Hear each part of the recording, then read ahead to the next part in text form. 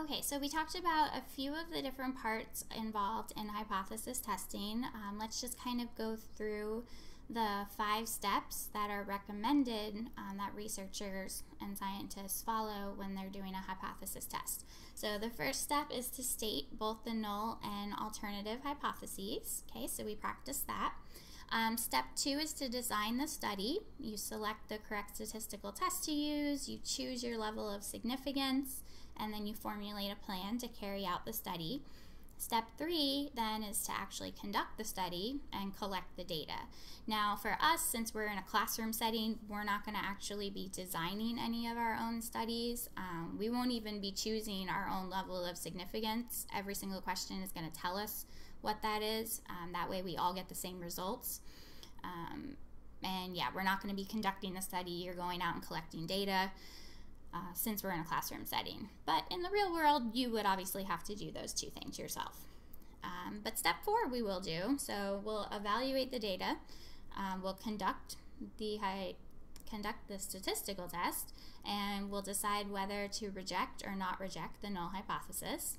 And then step five is really important. So step five is to actually summarize the results. So with every single hypothesis test that we do, we're going to end it by making a summary statement.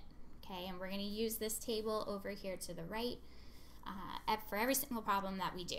So you will get very comfortable with this table. Um, you do not have to memorize it. I actually suggest keeping it handy, keep it right along with your um, critical values. So let's just kind of look at what our possibilities are for our summary statement. So there's four possible statements. Um, it just depends on whether your claim is located in the null or in the alternative hypothesis. Um, and then it depends on what decision you make. So whether you um, decide to reject the null or you don't reject the null. So uh, let's just kind of go over them quick. So if your claim is in the null and you reject the null, then you're going to say that there is enough evidence to reject the claim. If your claim is in the null and you decide to not reject the null, then you'll say there is not enough evidence to reject the claim. Okay, so hopefully those make sense there. So you'll notice that the word reject is used when the claim is located in the null hypothesis. Uh, how about if your claim is in the alternative?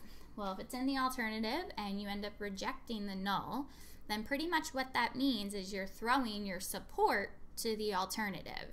So you reject the null, therefore you support the alternative. So if the claim is the alternative, then you would say there is enough evidence to support the claim. If the claim is in the alternative and you do not reject the null hypothesis, then you would say there is not enough evidence to support the claim. So the phrase reject is traditionally used when the claim is in the null, and then the phrase support is used when the claim is in the alternative hypothesis.